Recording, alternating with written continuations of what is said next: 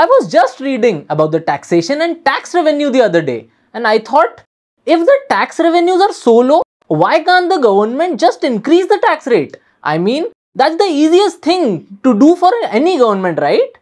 If your answer is no, you are already on the right track.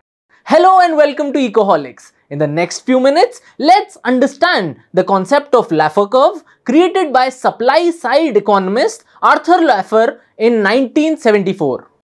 It simply shows the relationship between tax rates and the total tax revenue. It suggests that there is no tax revenue collection at the two extreme ends of 0% and 100%.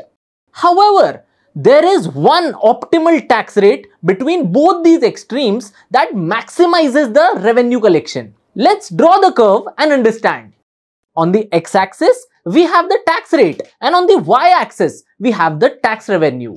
So, as the government increases the tax rate, the tax revenue also increases until it reaches a point T star. Beyond T star, the tax rate is increased and as clearly shown by the graph, the tax revenue starts to fall. Because the taxpayer's desire to work hard for more income begins to fall. Just imagine your income rose from 50,000 rupees to 1 lakh rupees and the government is charging a whooping 75% tax rate.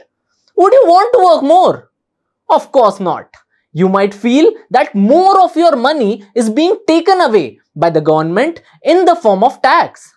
Same happens here.